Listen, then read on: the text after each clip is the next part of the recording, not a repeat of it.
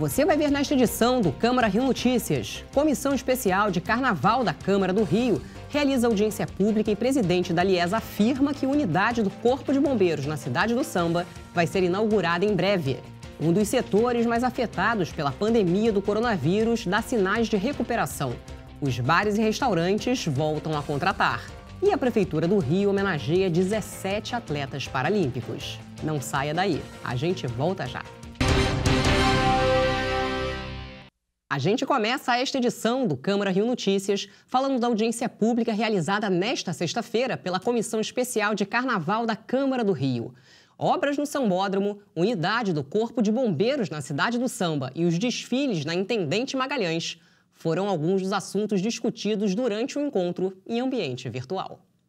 Uma cidade do samba renovada foi o que prometeu o presidente da Liga das Escolas de Samba na audiência pública promovida pela Comissão Especial de Carnaval da Câmara Municipal do Rio, presidida pelo vereador Tarcísio Mota. Jorge Perlingeiro promete um museu e espaços de gastronomia nos 95 mil metros quadrados que abrigam os 14 barracões das escolas do Grupo Especial do Rio. A primeira novidade já chegou, uma unidade do Corpo de Bombeiros no local. Vai ser inaugurada já nos próximos dias. A unidade do Corpo de Bombeiros, que vai nos dar muita tranquilidade termos aí emergencialmente tudo ali dentro, qualquer problema que possa haver estarão em cima do lance, para dizer assim, para poder agir prontamente. E agora nós estamos cuidando de uma parte gastronômica, fazer da cidade do samba ali dentro num projeto muito interessante, com, com partes cênicas muito bonitas, uma área gastronômica que teria choperia, pizzaria, churrascaria, sorveteria. Nós estamos trabalhando em cima de um projeto de readequação do sistema de combate de incêndio e a partir desse projeto, sim, que aí nós vamos definir as obras que serão feitas. A audiência também discutiu a necessidade da criação da Cidade do Samba 2. A gente teve um contratempo devido ao espaço, que já tinha um espaço garantido, mas parece que ele foi vendido na gestão passada, na prefeitura, pela prefeitura, e a gente agora está viabilizando, junto à Rio Tour, esse espaço novo. Com mais dificuldades financeiras, as escolas da estrada Intendente Magalhães também foram tema da audiência pública desta sexta-feira. Elas dizem que precisam com urgência de um novo local para a confecção dos carros alegóricos. Já se fala também na possibilidade da transferência do desfile da Intendente Magalhães para a Avenida Hernani Cardoso, em Cascadura, na zona norte do Rio. Sempre se chamará Carnaval da Intendente Magalhães, né? porque o que a gente quer é só mudar o espaço para aquilo que o, o vereador disse, ter, primeiro, controle de entrada e saída de pessoal. Segundo, ter um conforto maior do público, porque nós comportaria, comportaria arquibancada dos dois lados. Terceiro, ter maior, é, maior público. O Sambódromo, principal palco da festa, vai passar por obras que ainda não tem data para começar. O momento agora é o da licitação e o estudo do, do cronograma de execução de, das obras para a realização do, do tanto da, do, da intervenção quanto do evento. E lembrando, queria registrar que na execução dessas obras, o Sambódromo terá pela primeira vez na história o, o seu certificado de corpo de bombeiro definitivo. Vai ser implantada uma nova rede de pressurização de água para combate a incêndio, implantação dos castelos d'água, que são onde fica armazenada a água para poder suprir em caso de incêndio, recuperação de um castelo d'água que já existe na, no Sambódromo, impermeabilização e tratamento de juntas dos setores 4, 6 e 8, fornecimento e instalação de guarda-corpos, recuperação estrutural do setor 1 e pintura e delimitação de rotas de fuga e dos assentos. Outro tema foi a responsabilidade da prefeitura na política de segurança sanitária para os trabalhadores dos barracões anualmente a gente faz essas vistorias. Então, com essa demanda, é, a gente, é, além de fazer na, nos barracões do grupo especial, nós vamos ampliar essas vistorias para os barracões do grupo da série Ouro, o foco exclusivo em Covid. Os representantes das escolas de samba pediram a assinatura imediata de um contrato durante a discussão de um outro tema importante na audiência: a subvenção da prefeitura para as agremiações a garantia dessa subvenção e que ela venha o quanto antes. Né? Que essa assinatura de contrato também, para que a gente possa vender os nossos ingressos, ela aconteça também o quanto antes. Existe em vigor no município do Rio de Janeiro uma lei de 1988, que é a Lei 1276, que ela traz expressamente que o município deve trazer em seu decreto os valores que têm que ser apresentados para cada instituição, para cada agremiação, e que essa agremiação fará jus a esse valor no prazo de 15 dias antes do, da realização do carnaval. Nós queremos ter o melhor carnaval, mas à medida que a gente vai saindo da pandemia, a gente precisa agora olhar para aquelas mudanças estruturais que precisam acontecer no carnaval. O poder público é essencial nesse ponto. A função desta comissão é analisar as, as relações e as responsabilidades do poder público diante do carnaval. O restaurante popular de Bom Sucesso vai passar por uma reforma.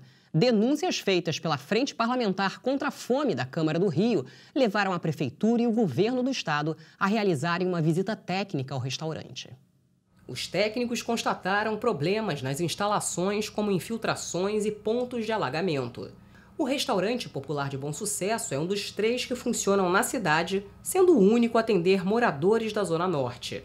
Como a força-tarefa da Prefeitura e do Governo do Estado não identificou o comprometimento da estrutura, a reforma deve acontecer sem que o atendimento no restaurante seja suspenso. A previsão é de que as obras durem seis meses.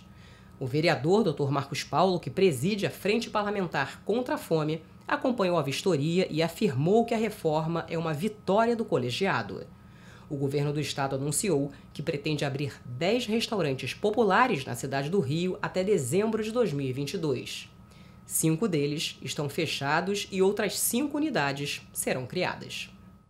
A gente fala agora sobre saúde. A Prefeitura do Rio divulgou nesta sexta-feira os menores índices de casos, óbitos e hospitalizações por Covid-19 desde o início da pandemia. Com a quinta semana consecutiva de queda do número de contaminados pelo coronavírus, a capital do estado entrou na categoria amarela para transmissão. De acordo com o cronograma de vacinação, nesta sexta-feira e neste sábado, todos os cariocas com 12 anos ou mais podem receber a primeira dose da vacina e quem tem data agendada para a segunda dose também. Nesses mesmos dias, os idosos com 67 anos ou mais ganham a dose de reforço, além de pessoas com alto grau de imunossupressão com 12 anos ou mais e profissionais da saúde que tomaram a segunda dose em março. No total, desde março do ano passado, o município do Rio soma 488.202 casos de Covid-19, com 34.734 óbitos. Em 2021, são 271.853 casos e 15.660 mortes. Com a diminuição do número de casos, as medidas restritivas contra o coronavírus deverão ser flexibilizadas. A ideia anunciada por Eduardo Paes é que a nova fase deve acontecer quando o município atingir 65% da população total vacinada. Atualmente é de 63,5%. Só assim a população poderá transitar em locais abertos sem máscara. E para que a vacinação avance, novos postos de imunização volantes serão criados em locais da cidade de grande circulação de pessoas, como supermercados, estações de metrô e BRTs. E a Secretaria Municipal de Saúde também anunciou nesta sexta-feira a antecipação da segunda dose da vacina Pfizer para pessoas com 30 anos ou mais. O intervalo, que era de 12 semanas, passa a ser de 21 dias. O setor de bares e restaurantes do Rio, um dos mais afetados pela pandemia, dá sinais de recuperação. Foram cerca de 2.500 estabelecimentos fechados na cidade, mas entre maio e agosto deste ano, o segmento gerou mais de 3.600 vagas.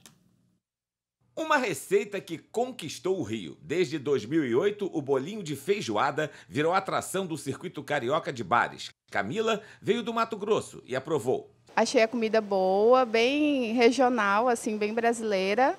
E o bolinho uma delícia. Achei muito bom.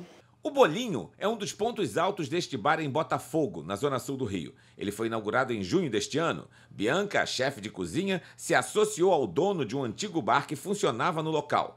Dos 13 funcionários, seis foram contratados no meio do ano. Joana pertence a esse grupo e comemora a oportunidade. Ela ficou dois anos desempregada, sempre foi garçonete, mas aceitou o desafio de ser caixa. Estou gostando. É uma área nova, né? Eu nunca peguei na minha vida é uma novidade para mim, sempre fui garçom, então foi um grande desafio. O investimento valeu a pena. O movimento vem superando as expectativas. Abria na pandemia, era um pouco de medo, né? um pouco de ansiedade, mas sim, o movimento está surpreendendo. Todos os dias dá um, movimento, dá um movimento no almoço e final de semana consigo encher todas as mesas. Os sinais da recuperação do setor de bares e restaurantes se espalham pela capital e o resto do estado.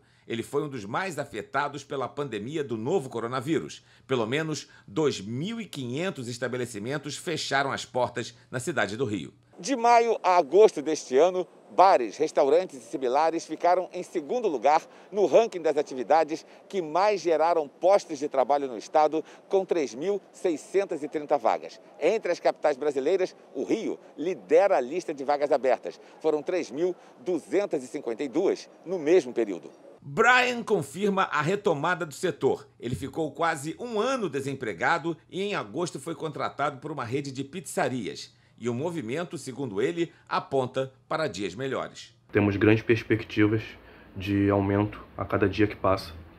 Inclusive, Dia das Crianças, esse feriado, esse último feriado, é, teve um grande movimento de 450 rodízios apenas no meu turno, que é de 7 às é, 11 da noite.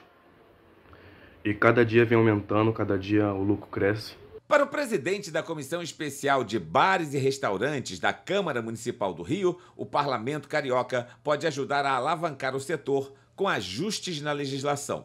Acho que a gente pode ainda atualizar mais é, é, a legislação de mesas e cadeiras, né, com alguns ajustes é, em relação não só ao uso de área pública, mas também ao uso dos estacionamentos, é, a possibilidade de você fazer a integração dos polos, está ajudando agora a Prefeitura na organização dos polos gastronômicos aqui na cidade, é, conseguindo também avançar em termos de, de revisão e, e, fiscalização dos aplicativos de daqueles aplicativos de delivery, né? Porque hoje, até então era fácil qualquer pessoa fazer o seu cadastro, agora você tem um pouco mais, um processo um pouco mais é não difícil, mas é um processo onde é necessário você apresentar o licenciamento sanitário, que é tão importante para a segurança alimentar.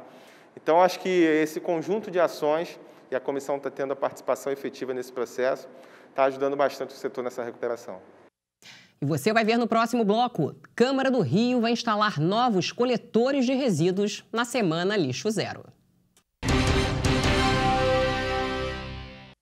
Começou nesta sexta-feira a Semana Lixo Zero, celebrada em todo o país para aumentar a conscientização sobre a produção e descarte de lixo. A Câmara do Rio apoia a campanha e inicia um projeto em defesa do meio ambiente. A Semana Lixo Zero foi incluída no calendário oficial da cidade através de uma lei aprovada na Câmara do Rio. Ao longo da semana serão instaladas novas unidades coletoras no Palácio Pedro Ernesto para dar uma destinação adequada ao lixo que é descartado na sede do Legislativo Carioca. Transformar a Câmara Municipal do Rio de Janeiro no primeiro prédio público lixo zero do país é importante para darmos exemplo, já que ali estão os representantes eleitos para o povo e dali se cria as leis que regem nossa cidade. O conceito lixo zero consiste no máximo aproveitamento e correto encaminhamento dos resíduos recicláveis e orgânicos e a redução do encaminhamento desses materiais para os aterros sanitários. A Semana Lixo Zero ela está no seu 12º ano. No Rio de Janeiro tem uns 5, 6 anos que a gente organiza. É um convite à sociedade para que todas as entidades, as instituições, as empresas, os grupos, as associações parem para refletir sobre o lixo e sobre como evitá-lo, sobre o consumo e a responsabilidade dos resíduos provenientes desse consumo como que essas empresas, entidades, pessoas uh, podem ajudar uh, a gente a mudar esse sistema e ter uma, ter uma reflexão disso, sempre procurando dar visibilidade às melhores práticas. A Secretaria de Ordem Pública demoliu nesta sexta-feira 10 construções irregulares no bairro da Gamboa. Os estabelecimentos eram comerciais e foram erguidos de forma irregular sobre a calçada.